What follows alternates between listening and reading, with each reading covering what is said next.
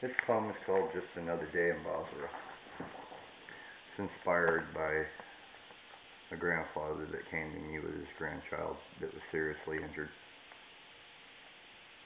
And another young man that was seriously injured when his Achilles tendon was almost severed his foot, just about.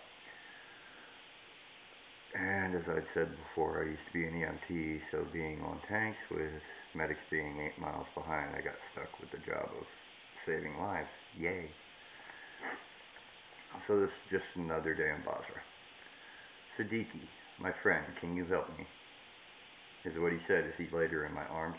His eyes filled with tears as the grandbaby's chest splayed open from chemical burns or ordnance, trying to calm his fears and offering reassurance that I would help.